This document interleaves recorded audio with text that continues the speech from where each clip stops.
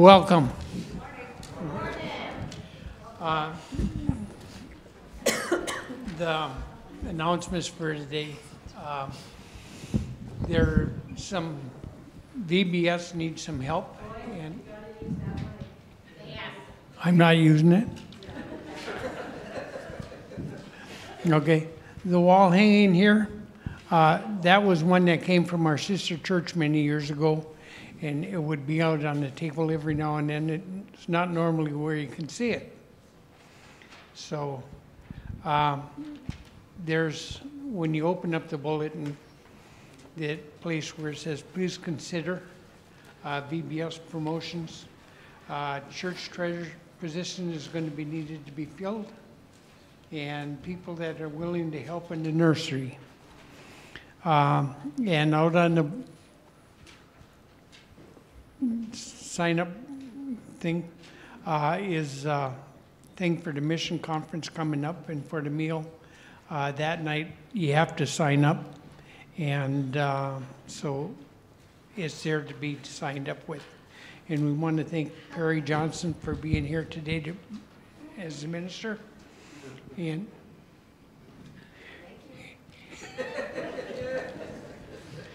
boy, she can just signal. Um, So anyway, thank you, and we hope you have a blessed time today, and thank you much for being here.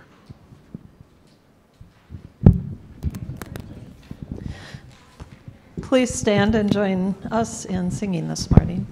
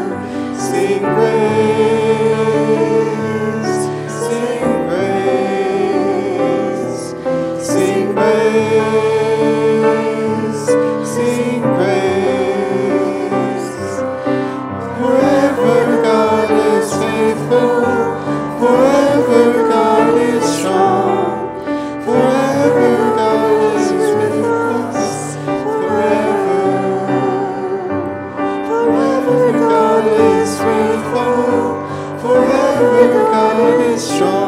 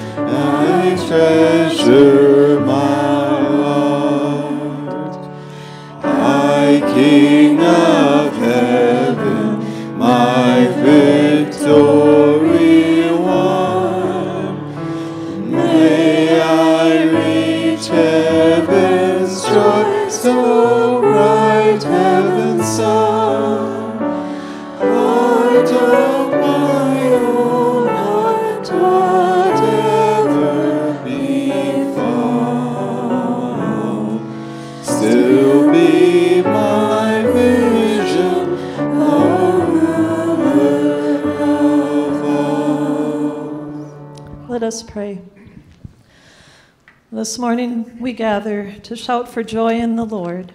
We sing to you, Lord, a new song, for your word is upright, and all your work is done in faithfulness.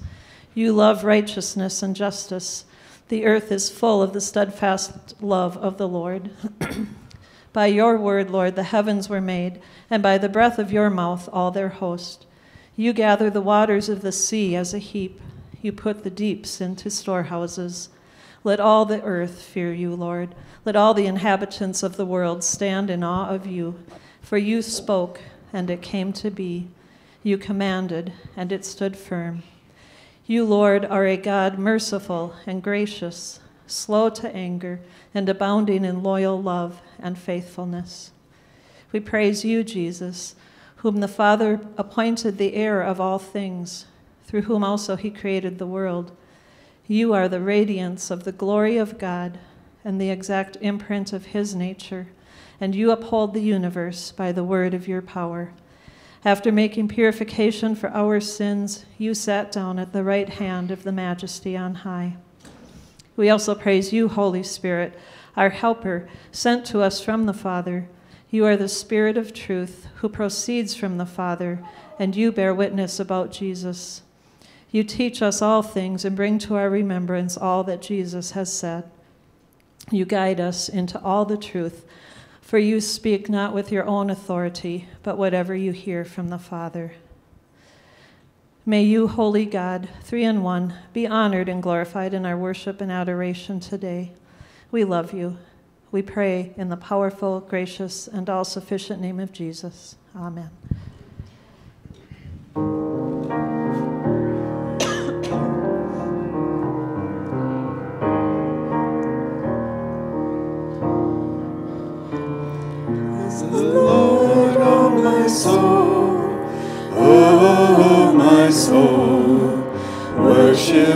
Holy name. Sing like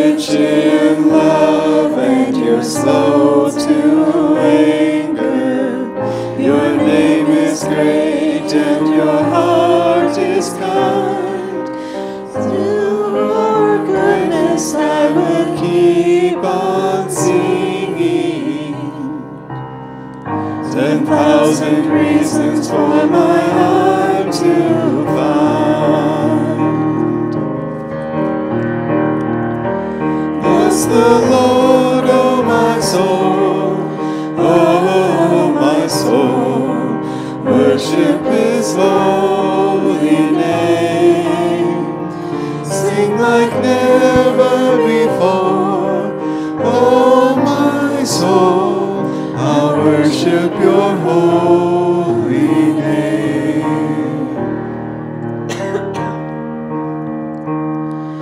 And on that day when my strength is failing, the end draws near and my time has come. Still soul will sing your grace unending. Ten thousand years and then forevermore.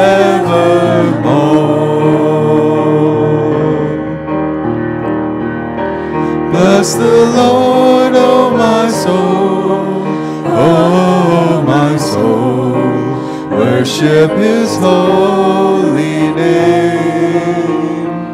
Sing like never before, oh my soul, I'll worship Your holy name. Bless the Lord, oh my soul, oh my soul, worship His holy name. Sing like never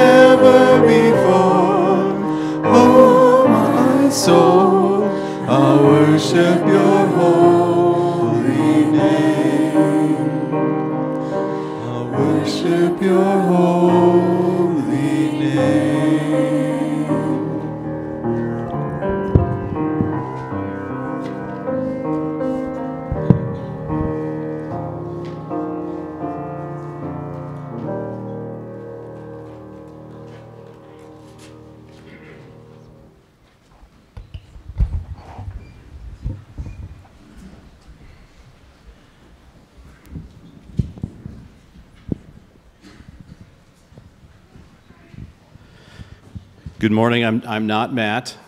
Matt. Matt is still coming. Um, my name is Chet. I'm the chairman of the pulpit committee, and I'm going to give an update. But first, I want to say thank you to Mr. Silas Nix. It's his first day running the projector today, doing a fantastic job. And it's, it's great to have so many, uh, so many willing volunteers to help, help make things run smoothly each and every morning. So I'm going to give an update uh, for the pulpit committee. Uh, first off, I just want to introduce ourselves. Uh, as I said, my name is Chet. I'm the chairman of the committee. We also have uh, Joni. Where's Joni? Just raise your hand. Joni's over there. And Joey McGuire. And Mr. Dan Swanson is maybe, oh, there he is. Thank you. And then very, very far away, we have Yvonne Pearson. She's not here right now. Uh, but those are the five of us uh, that are part of the pulpit committee.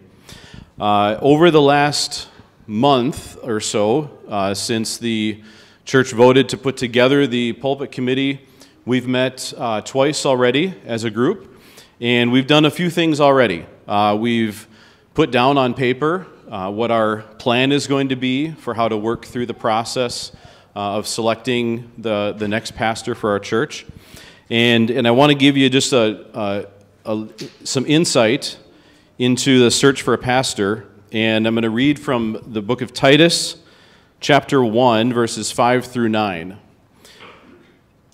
In this, Paul says, This is why I left you, he's speaking to Titus, I left you in Crete, so that you might put what remained into order and appoint elders in every town as I directed you.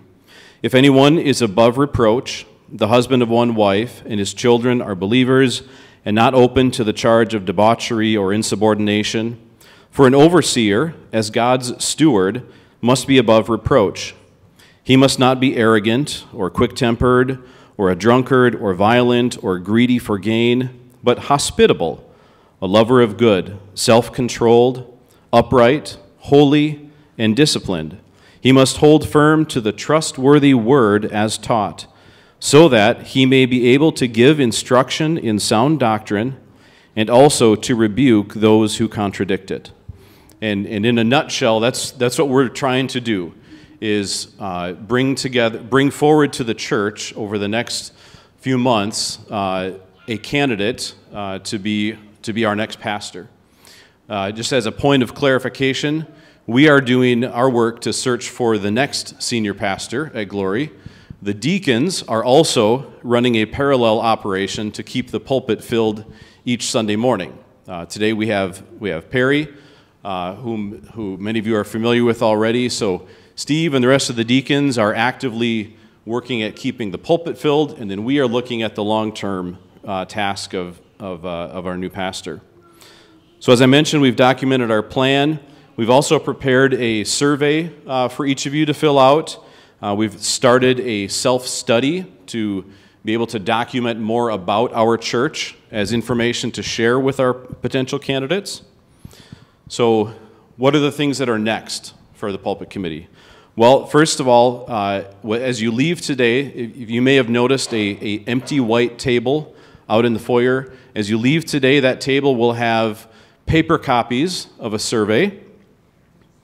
It looks a lot like this. And, and you are welcome to please grab one or, or a few uh, paper copies of the survey. We will also be emailing the same form uh, through our church email uh, uh, software. So you can fill it out either on paper or electronically. There, there's no preference. You can do whatever is easiest for you. If you would like to do an electronic survey, but you're maybe unsure of uh, technology, have some questions, uh, Joni from our committee has volunteered next Sunday after the service to stick around for a little while with her laptop and help people go through the process. If you'd like that, that's, that's an option. Um, so uh, we will have the survey available. It is welcome and open for any uh, members, any regular attenders. There's, there's no age requirement. Please, if you'd like to, fill out the survey. We'd like to get some information from, from everybody that we can. Uh, we are also putting together a list of, of organizations and trusted uh, ministries to whom we will be sending a letter to solicit names.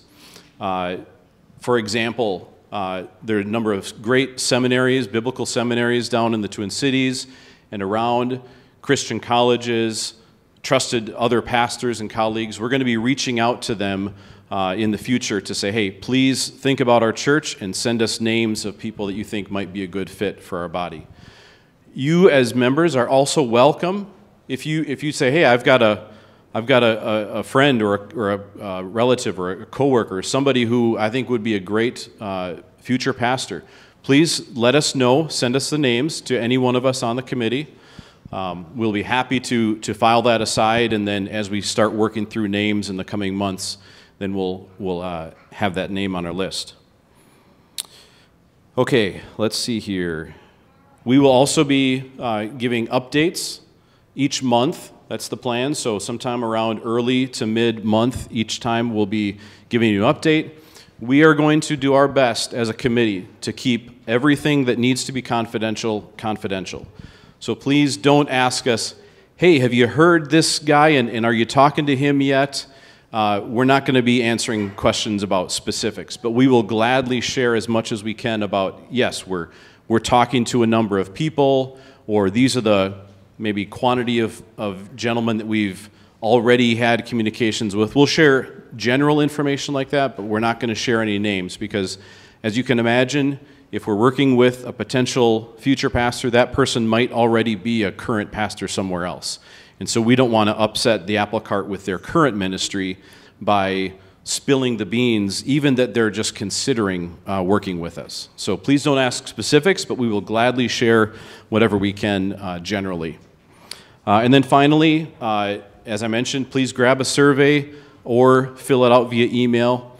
And then the most important things that you can be doing for us as a committee is to pray for us, the five of us specifically. We need your prayers. Pray for our church as a whole, and pray for the future man that God would have to lead our church and his family. Uh, it's very important that he and his family are being brought along in this process. So please pray for, for all of us involved, and uh, we appreciate your time this morning.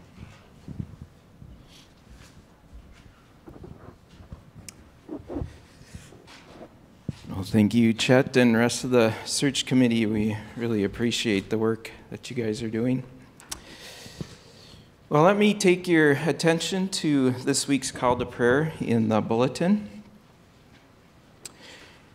Uh, continue to be praying for Violet Poppin. Uh, she's recovering with her family uh, down in the cities, but she's still in some pain, and, and uh, so continue to be praying for her. Uh, pray for Mary Bear. as She's recovering from surgery. Uh, be praying for the family of Adrian Sunberg. He was a former pastor here for about six years, um, and he's now with the Lord enjoying eternity uh, with Jesus. But uh, be praying for his family as they mourn his loss.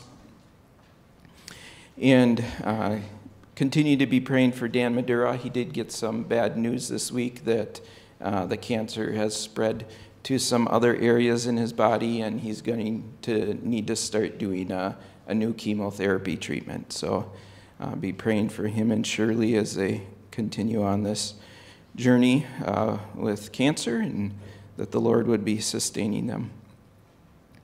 And uh, I'll just echo what uh, Chet said be praying for the uh, pastoral search committee and be praying for this new pastor that the Lord has lined up for us.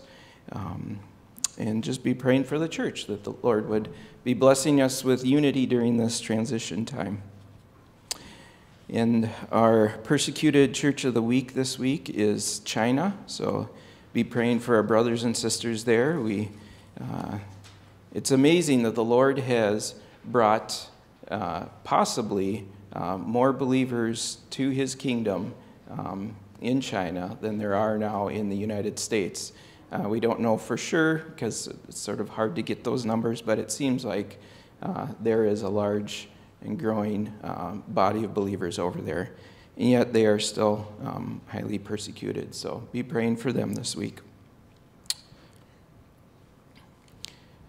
So let's go to the Lord in prayer. Lord, we thank you that we can come here today and worship you freely. Uh, we can gather with our brothers and sisters to um, sing songs about you that worship you in spirit and truth. And we can encourage one another's hearts with uh, encouraging words and just by singing together. And we thank you that we can be fed as your flock by your word preached today. And Lord, uh, we thank you uh, that this is all done without worry about our government coming to um, persecute us for doing this, Lord. So we lift up our brothers and sisters now that don't have these freedoms. We thank you that you've called them into your kingdom and that you are sustaining them with your grace. And we ask that you'd continue to do that. Give them boldness uh, as they are interacting with those who are persecuting them. Give them boldness uh, to share the gospel. We ask that you give them protection, that uh, things that they should be punished for will be overlooked or not seen. And Lord, may your kingdom, kingdom continue to spread in places like China and Iran and other very difficult places to live as a Christian. And Lord, we lift up our brothers and sisters who are going through pain, through um, suffering.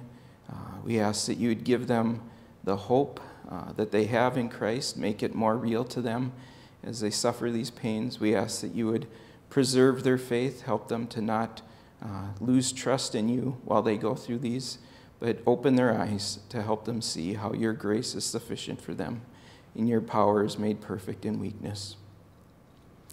And Lord, we, we want to confess that we, uh, just like your people Israel, uh, have committed two evils. We've turned ourselves away from the fountain of living water, and we've turned to dig out uh, broken cisterns for ourselves to find satisfaction in the things that the world offers rather than finding our satisfaction in you. And yet, Lord, we have so much hope, more than 10,000 reasons to hope, Lord, because of the promises you give your people who trust in you. Promises like if we confess our sins, you are faithful and just to forgive us our sins and cleanse us from all unrighteousness. So, Lord, we, we ask that you'd help us to turn away from the things we're finding satisfaction in that are not you and turn to you and find our satisfaction in you. And Lord, we look forward to the day when you return and make all things new, and nothing in this world will distract us from you. And until we uh, get to that day, Lord, we thank you for good brothers like Brother Perry now, who's going to feed us with your word. We ask that your Holy Spirit would fill him so that he can proclaim your word with boldness and clarity. And Lord, help us with your Spirit to receive that word gladly so that we can be uh, transformed, our minds can be renewed, so that we can love you better, obey you better, and trust you more. So we pray these things in Jesus' name. Amen. Well, I'd like to uh, welcome up Pastor Perry here. He's been a a longtime pastor at Opstead Baptist, and uh, he's now fellowshipping with his family down at Isle E Free. So Yeah. thank you for coming up. Thanks, Matt. Appreciate it.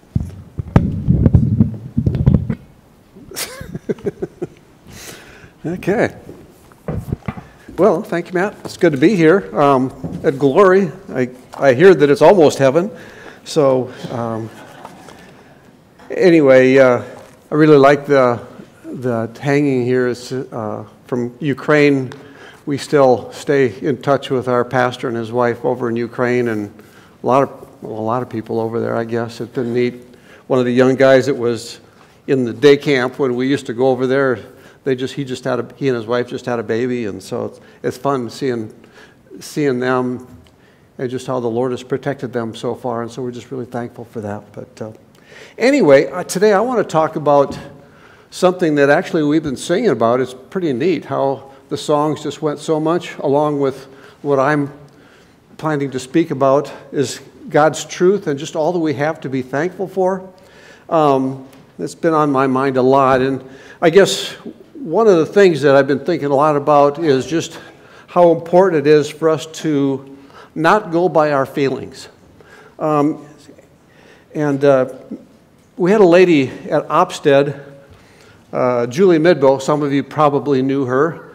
Um, and uh, she would she led singing for many years, and she'd always start out by saying, "This is the day the Lord has made," and if you knew what the, we will rejoice and be glad in it.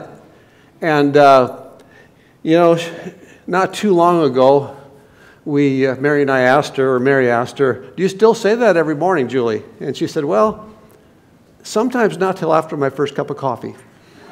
And uh, I know she's saying it every day now because she's with the Lord. But, uh, you know, uh, Julie would choose to make it a good day. I know that from just seeing her. She, she had a lot of things going on in her life, but she always chose to make it a good day because she knew the Lord. And uh, sometimes a little coffee helps, you know, but, uh, but each day is a choice. And, uh, you know, we all have a choice we always have something to be thankful for. And uh, we live in a world where feelings are becoming over, the most important thing. Um, and we really need to learn to live according to truth rather than our feelings. Is there any pilots here? Too bad. Um, anyway, one of the things in, in flying, uh, that, uh, especially as you got to flying on instruments and getting an instrument rating, was you'd have a hood that you wore, and the hood went like this, so all you could see was just the instrument panel in front of you. And, um, and then very often the instructor would say, okay, close your eyes and put your head down. And then he'd take the plane and he'd do all kinds of stuff. And up, down, around, you know, and if you're familiar with your ears, you start doing that stuff and you get all messed up. And, uh, you know, then he would, after he's got it in some kind of a unusual attitude, maybe, you know, a turn to the right or whatever. Yeah, this is my right, okay. To the right, um, climbing, diving. Then he'd say, okay, it's your airplane. And you look up and you look at the instruments and you know that you're turning to the left from your head. But the instruments don't say that. They say you're turning to the right. And so you have to decide what am I going to go by? My head or my instruments? And uh, if you go by your head, you're going to get in big trouble. And that's where a lot of crashes come from, is when people start to go by their feelings rather than the instruments. We have to learn to go according to the truth. And uh, unusual attitudes really help me to, to learn that. And uh, in life, we must learn that very often our feelings will mislead us. Um, we have to check our feelings with the standard of God's truth and His Word, the reality of His, of his Word. And, you know, as you look around at the world today, if you listen to the news for maybe about five minutes, it can be very discouraging. um, as you listen to what's happening, you talk about wars and rumors of war, uh, you know, with Russia and Ukraine, uh, North Korea, China, Iran, Israel, Hamas, Hezbollah, um, on and on and on. The Philippines is being pushed around. Uh, you know, there's the whole woke agenda. You've got COVID coming back, uh, inflation, um, climate change. Uh, it's just, it's so easy to feel like the world is falling apart, which it is. I'm not going to deny that. But uh, you know, on more personal levels, there's, you know, we see people destroying each other uh, verbally, online. You know, social media does all kinds of stuff. You know, people are telling lies about other people. Um, there's, yeah, just teachers being assaulted in, in school. Mary's, Mary's sister has been some of the stuff that happens to her. You know, police being ambushed and murdered. Um, we see physical, mental abuse, cruelty, greed, gender confusion. Uh, it just it goes on and on in our world. And our moral compass in our society really is not pointing to true north anymore. And I, I saw a book when Mary and I were up on the North Shore at a bookstore, and there was this book that said, Choose Your Own North Star. Well, that's kind of a neat title until you think about it you think of the ramifications if everybody's choosing their own North Star. Um, you know, it's crazy. Uh, and that's what's happening. But, you know, uh, whatever you feel like is your truth. That's, that's what we're told. That's what's truth for you. And that's what's happening in our world. Kind of reminds me of uh, back in Genesis when uh, Satan came and told Adam and Eve, hey, you can be just like God. You can do your own thing. You don't have to listen to God. And that's where we've been at a lot in our world is we're doing our own thing. We don't need to listen to God anymore, or at least we don't think we do. Um, and uh, so it uh, can feel very disorienting uh, in a world. You know, the society starts to crumble as everybody's choosing their own North Star. And uh, so we need to be, we're going to find ourselves in some real unusual attitudes in our in our world. And we uh, you know, really don't know which end is up until we start to get according to the truth, according to God's truth in those unusual attitudes. We need to check our, our truth with God. Jesus said in uh, John chapter 16, uh, verse 33, he says, I've said these things to you that in me you may have peace. In the world you'll have tribulation, but take heart. I've overcome the world. He said that right before he went to the cross. And uh, then in Luke 21, Jesus says again, Luke 21, verse 28, he says, Now, when these things begin to take place, the things are just what I've talked about uh, what's going on in our world today. When you see these things uh, begin to take place, straighten up, raise your heads because your redemption is drawing near. And, uh, you know, that's good news, meaning Jesus could be coming back very soon. I believe very, very soon. And that can be really thrilling and exciting to us if we know the Lord is our Savior. If we don't, it's something to be pretty concerned about. Um, but, uh, you know, as we turn in our focus to Jesus and His promises, it'll start to change the way that we think. And if we change the way that we think, it literally starts to change our life. That's uh, uh, just a, a, it's called renewing your mind. Remember in, in Romans 12, 2, it says, you know, we start to renew our mind. It's by getting God's, God's word into our hearts and minds. and start to change who we are. And today I'm going to talk about kind of four things, four principles that I got from a devotional by Craig Groeschel. You maybe heard of him, but uh, he's a pastor down in Life Church in Oklahoma in Life Church. But these are actually things that my wife had written many years ago, so it's not really new for Craig. He, he just copied her. But uh, not really. But, uh, you know, they're principles that we can apply to our lives to, to bring our minds and our thinking under God's control rather than what the world is saying, the world's lies. Uh, remember who the father of lies is. It's, uh, you know, Jesus said in uh, John 8 44, you are of your father, the devil.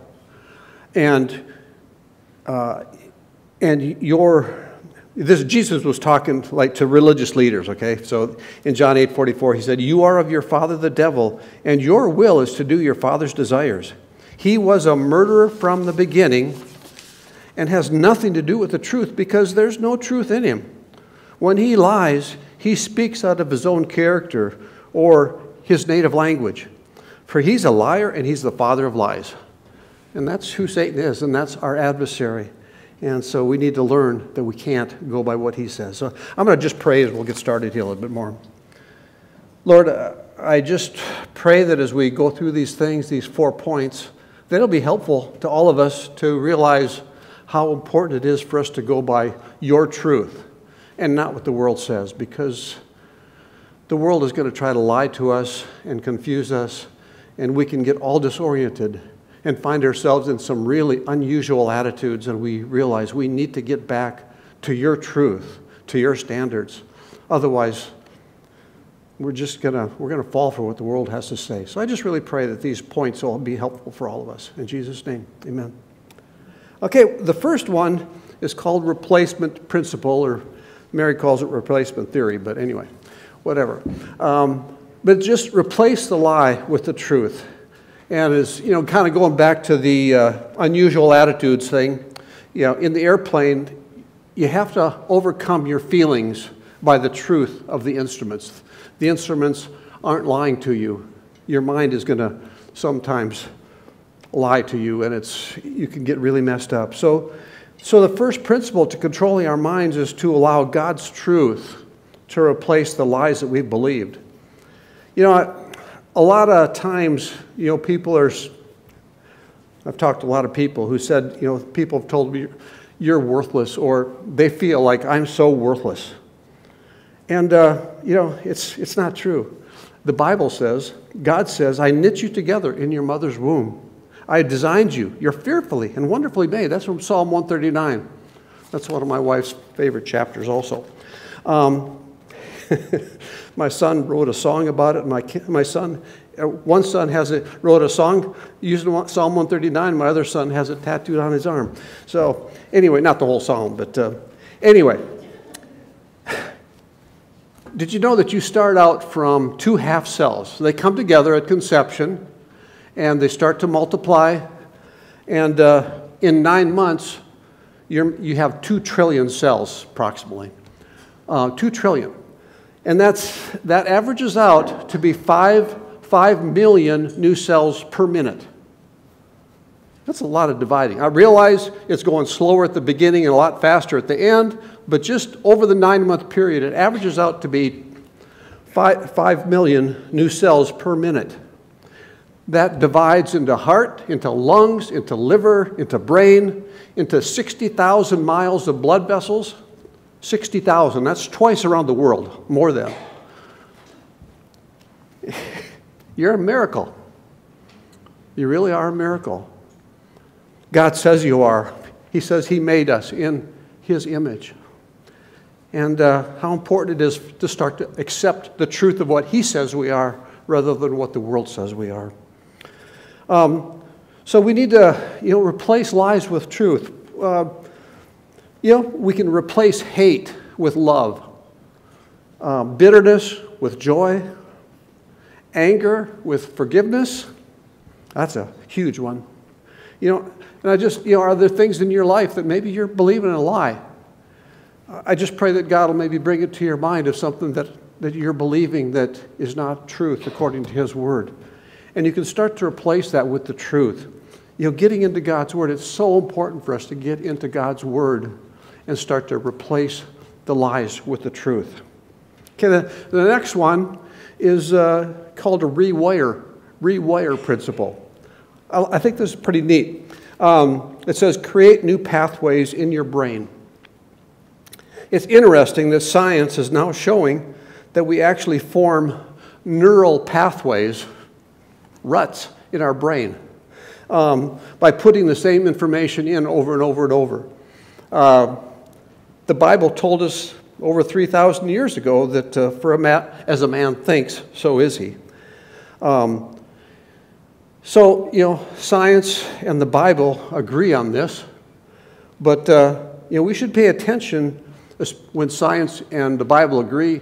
And if the Bible says something, we need to pay attention to it anyway because start to find out that, the, that they'll, science will gradually catch up with the Bible. It's happening all the time. I might be speaking on that the next time I'm here. So, but uh, anyway, I love science. But you know, when science and the Bible agree, we, that, it's really cool. And the truth about this is that we can start to form good neural pathways in our brain or bad neural pathways in our brain. Um, literally ruts in our brain. The roads aren't quite like they used to be, but used to be you got into one rut and you're going to stay in it for a long time in the springtime around here. And, uh, but, you know, the kind of ruts, it's so important to know what kind of ruts you're putting into your brain. And we need to be putting God's word into our brain. Um, so that we have His truth rather than what the world wants to tell us. In Philippians chapter 4, verse 8, um, Paul is talking there, and he says, Finally, brothers, whatever is true, whatever is honorable, whatever is just, whatever is pure, whatever is lovely, whatever is commendable, if there's any excellence, if there's anything worthy of praise, think about those things. That, you think of what, if you thought, if that's the kind of things that you're putting into your brain all the time, think of what a difference that would make. I, I've often used the example of being chained between two elephants, and they're pulling. And which elephant is going to win the battle? The one you feed. So important. What elephant are you feeding in your life? Because, you, you know, uh, anyway, I just like that, that picture to me of what's going to win the battle. Okay, the next one is called a reframe principle. Change how you perceive what's happening. Um, you know, we often find in life that we can't control what happens to us, but we can control how we frame it, how we look at it. Um, Paul had a strategy. Uh, he wrote to the church in Rome, the book of Romans that we have, and he had a strategy to go there on his way to trying to you know, spread the gospel to the world. He wanted to get to Rome, which was the capital of the world at that point, and to, to you know, reach the leaders there, that it could be a base for spreading the gospel all around the world. But when Paul finally got there, he was in chains, he was a prisoner, locked up, and uh, under house arrest. And he wrote the book of Philippians from that jail in, in uh, Rome. And uh, I just thought it was interesting. Um, you know, what would you, what would you have said when you're there? He had great plans. Seemingly, they were didn't go quite the way he had he expected. You know, I see, you know, as he wrote to the Philippians, he could have said, "I want you to know, brothers, that what's happened to me really sucks. Um, I was planning to share Christ with world leaders here in Rome, and now I'm locked up in prison. I give up on all this Jesus stuff. I'm not going back to church again. But that's not what he said. I just love, he reframed it. And in Philippians 1:12 and following, it just says, I want you, he's writing to the Philippians, people that he really loved, who cared about him. And he says, I want you to know, my brothers, that what's happened to me has really served to advance the gospel, so that it's become known throughout the whole imperial guard and to all the rest that my imprisonment is for Christ. And most of the brothers, having become confident in the Lord by my imprisonment, are much more bold to speak the word without fear. What a, you know, I mean, he's, he's witnessing to the, the imperial guard, these soldiers that are guarding him day and night. I imagine they got an earful of the gospel, you know, and they're becoming Christians and they're telling everybody else about it. So from prison, he's reaching the world. A little different way of doing it, but pretty effective. And, uh, you know, I just think that is so neat. But he reframed it. He didn't look at it in the negative way, he saw it from a positive way that God is allowing this for some reason. I don't know. I'm sure he didn't understand to start with, but he started to see God is working in this, in this way. Um, that's what we call reframing. Uh, kind of reminds, reminds us of you know, Romans 8 28. We know that for those who love God, all things work together for good, for those who are called according to his purpose. You know, it can be kind of hard if people come up to you when you're having some really big troubles and say, ah, you know, God's working this all for your good. Yeah, thanks. Um, but, you know, it's true, but it's just neat. You know, it's, it's, you kind of say, well, yeah, that's good for you to say, but, you know, what would you do if it happened to you? Well, Paul wrote this verse before he wrote to the Philippians, and it's just neat to see how he responded when he was put in a situation like this, put into prison. Um, and, you know, he was shipwrecked, remember, um, just all that happened. And, uh, but he did a great deal of reframing the whole thing. And uh, he was looking at what God was doing. And he realized that God is working in this in ways that I don't understand. But you know, he brought, he brought me to, to this place to be able to witness to these guards. And these guards are spreading the gospel all over the imperial palace. So that's called a reframing. Um, and then the last one that I've got, it's called the rejoice principle. Um, as we choose to thank God, to rejoice and pray, God shows up and gives us his peace. And I've seen that so, so true in my life so many times. You know, it's, uh, you know, my dad is 99 plus and very weak and very confused, and yet God is giving him life for a reason. And I just keep asking God, you know, help me, Lord, to learn everything I can through this and to be the son that God wants me to be rather than being, oh, brother, why's my dad got to be like this? Because he's still, he's still there. He still knows me. We can still talk. It's pretty special.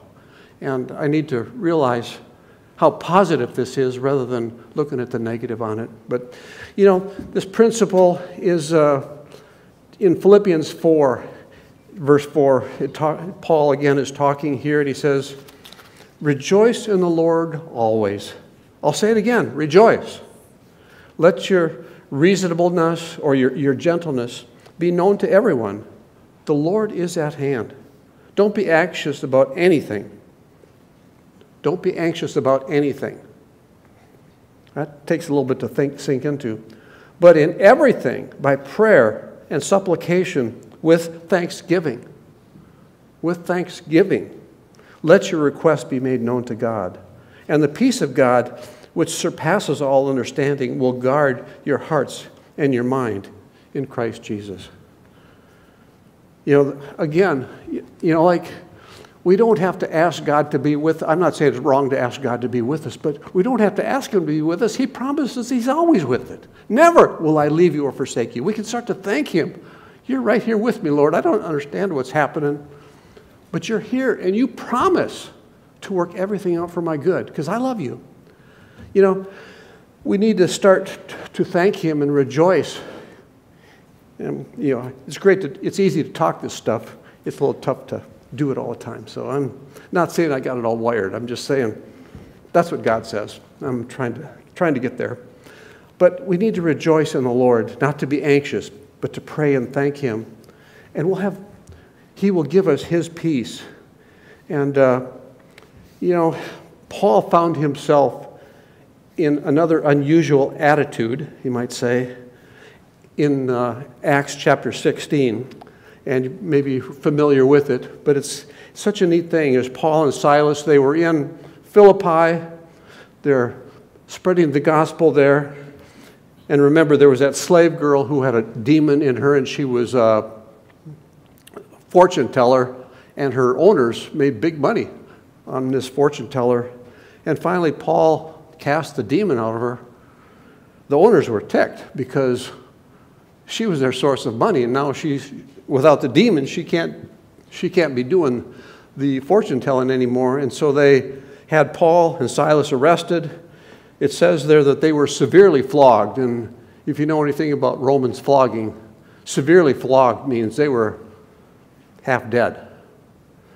They were chained up, put into a maximum security prison, and uh, in Acts chapter 16, starting with verse 25, it says, About midnight, Paul and Silas were praying and singing hymns, singing hymns to God. And the other prisoners were listening to them. Suddenly, there was such a violent earthquake that the foundations of the prison were shaken. At once, all the prison doors flew open, everyone's chains came loose. This was quite an earthquake. The jailer woke up, and when he saw the prison doors open, he drew his sword and was about to kill himself because if people got away, it was him, him or them they were going to kill him if, if those guys had escaped. And uh, so he thought the prisoners had escaped. But Paul shouted, Don't harm yourself, we're all here. The jailer called for lights, rushed in, and fell trembling before Paul and Silas. He then brought them out and asked, Sirs, what must I do to be saved? Isn't that cool? Verse 31 says, Paul said, Believe, or Paul and Silas said, Believe in the Lord Jesus, and you will be saved, you and your household. The jailer and his whole household were saved that night.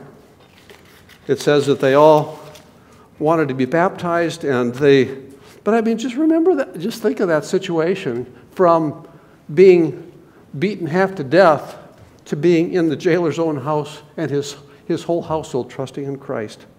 That was because Paul and Silas were rejoicing in what was going on, even though I'm sure they didn't understand it. And because of that, God showed up um, in a miraculous way. Um, they rejoiced, and then God showed up. It wasn't that God came and then they, oh, I guess we can be thankful now. No, they chose to be thankful in the terrible situation. And as they did that, God worked in some amazing ways. And uh, I'm sure a lot of the prisoners that heard that maybe came to Christ too. I don't know that. But we know that the Philippian church, that was one of the beginnings of the Philippian church. And uh, God used that church in great ways. You know, uh, this is a crazy world right now. and we're going to have more and more and more unusual attitudes come hitting us. And so, uh, crazy and unexpected things are happening in our world. And uh, we need to apply these principles in our lives. Um, you know, the replacement principle to replace lies with truth. uh, the re- rewire principle, you know, to create those new pathways in our brain, literally the renewing of our mind. That's what, that's what it's called in, in um, Romans 12 there, you know, to renew our minds with God's Word, getting His, His Word, His truth into our minds rather than what the world says. The world's going to try to tell you all kinds of stuff. We need to go by what this book says. Um, the reframe principle. change how you perceive what's happening. You know, um, is the cup half full or half empty? Makes a big difference. You know, we can look, how we look at things ch- changes our whole attitude. God says, you know, to rejoice in Him always. Again, I say rejoice, no matter what. Um, and then the rejoice principle as we choose to thank God, to rejoice and pray, God shows up and gives us His peace. Um, you know, and sometimes it's pretty tough to say, thank God for this situation, but we can thank God in this situation. We might we don't understand why something is happening, but we can thank him in this situation because he promises to be working in this situation for our good no matter you know what's happening around us.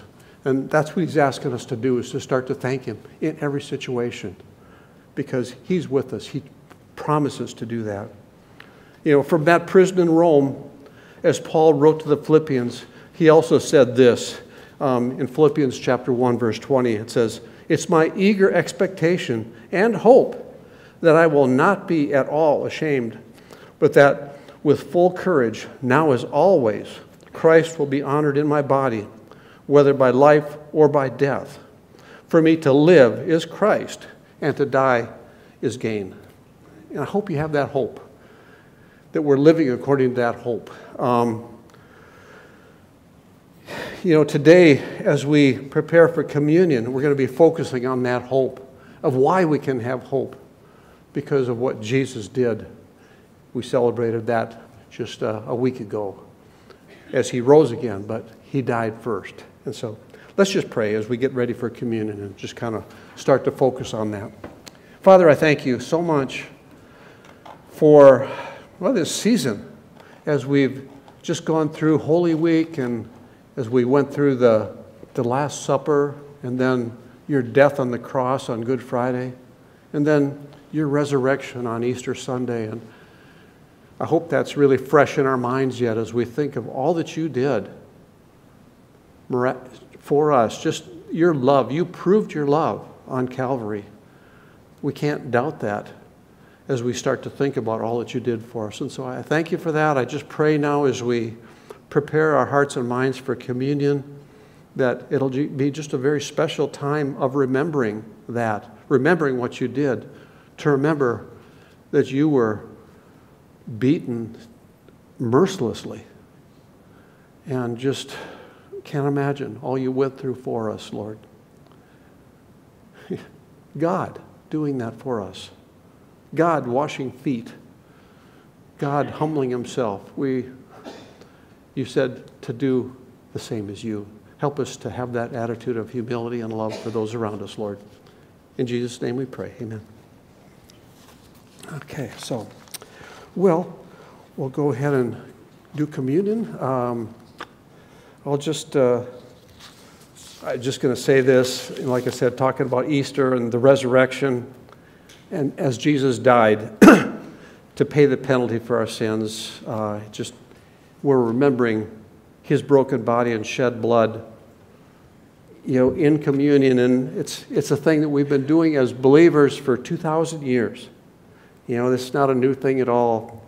It's just so neat how god has given us this special simple simple way and yet profound way of remembering his broken body and his shed blood and remembering that jesus did that for you and for me for us personally. And uh, I know Glory has open communion. I, if you're a visitor, I don't know who's visitors, who's not, so I'll just say, but you know, if you know Jesus Christ as your personal Savior, please join us. This is a special time, a family thing. It's for believers to remember what Jesus did for us on the cross. So I'll just, uh, again, just thank the Lord, and then we'll pass out the, the cup and the bread. Thanks, Lord, uh, again, for what you did. Help us to remember the truth of that the world tries to say all kinds of stuff, but you died, and it's a historical fact. We're not just believing some kind of tales. Many, many historians who are not Christians wrote about what you did. So we thank you for that and help us just to really get this in our minds of remembering this truth wherever we're going. What a difference it makes as we re- realize your love for us. In your name, amen. Okay, well, we'll try to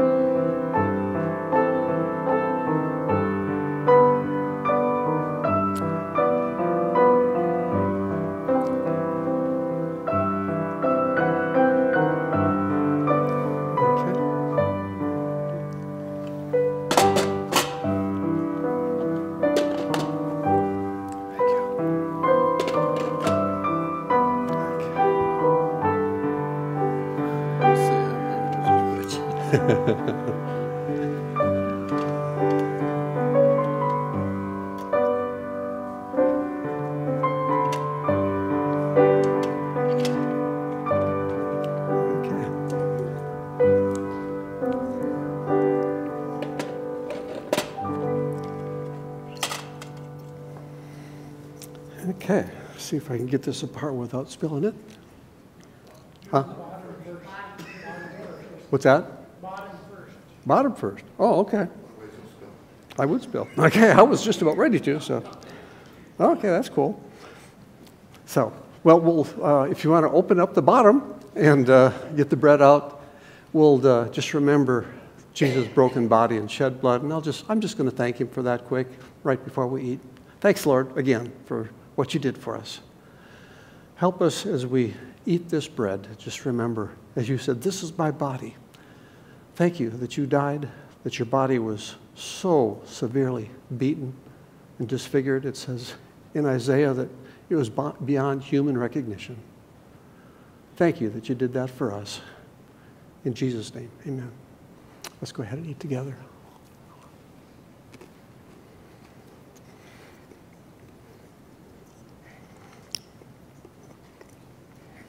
Okay, now you can open up the top. Okay. Hopefully, if I drink it before I spill it, we'll be in good shape. So, uh, again, I'm just going to thank the Lord for this. Lord, thanks for your shed blood. Just think as they poked the spear into your side and blood and water came out mixed as you were dead on the cross. We thank you. Thank you for what you did. Thank you for shedding your blood for us, for our forgiveness of our sins. Help us to live according to the love that you've shown us. In Jesus' name, amen. Okay.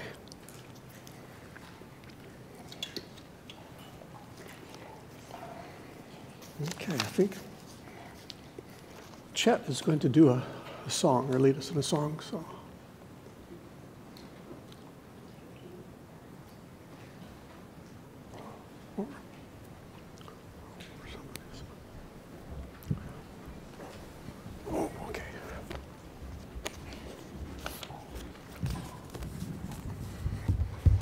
Please join us in singing our closing song.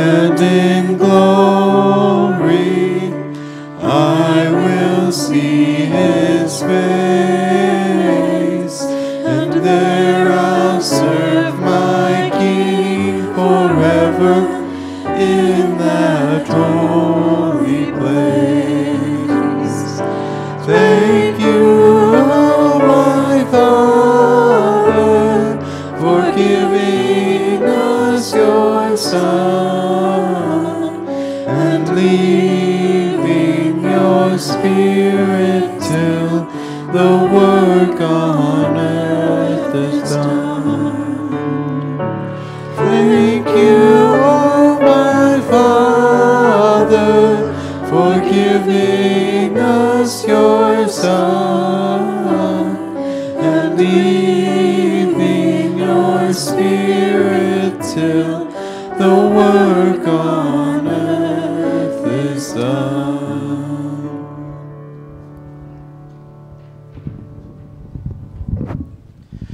real quick, I had I had notes written out, and of course I didn't get all the way through them.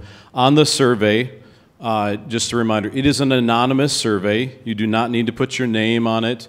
You can fill out as much or as little of the survey as you'd like, and certainly some of the questions may not be applicable. If your children are, are, are adult or, or gone from the house, you don't need to put your children's ages if, if that's not appropriate or applicable. Uh, the important things on the survey, though, there's a few questions that are extremely important.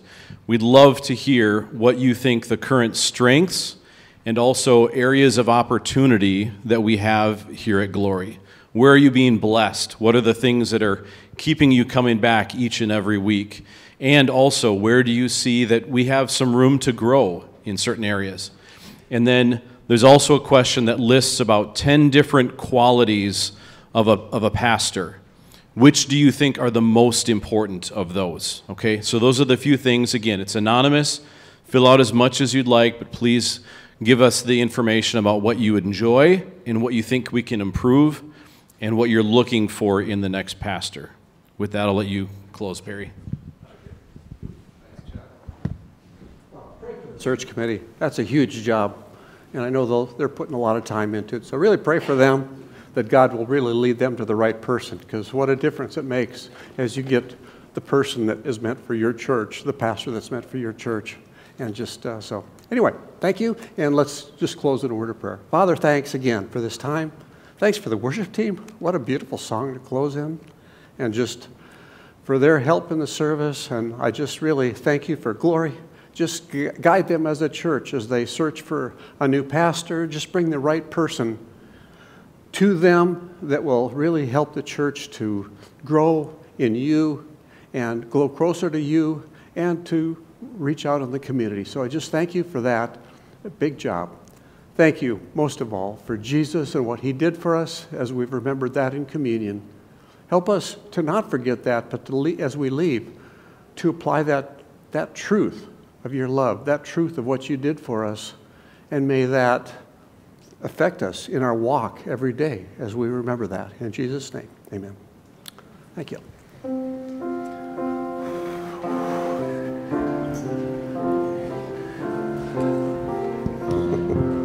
I'll get rid of this.